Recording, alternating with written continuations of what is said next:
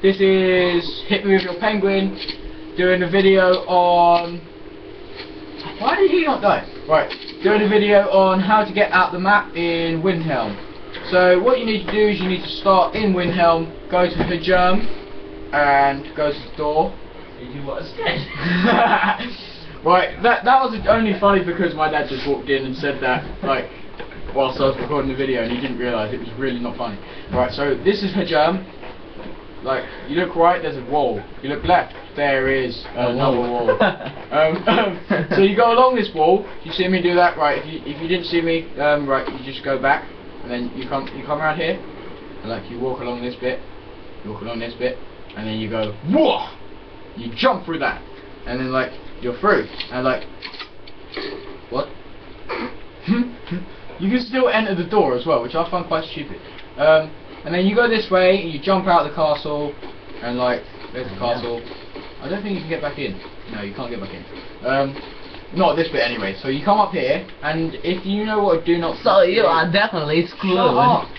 If you do, if you know what a do not delete box is, then you're okay. But if you do not, then you are screwed because that you need two of them just to get to this chest. There's there's a chest up here and it's quite far away. So I'm not going to attempt to do not delete box it because it takes take too long. And um, and it'll take too long. And if I did it you'd probably get bored. So what you need to do is like basically just build a tower and like so this is all my stuff. I'm, I'm a hoarder. I'm a hoarder. I hoard. Um, You are a hoarder. what? They're gone Oh, someone used my do not delete boxes. Alright, uh, anyway, they're basically chests that you can put down and they float. Um, if you ever played Oblivion, then um, paintbrushes did the same thing. So, like, basically you could jump on them and then use them as a platform.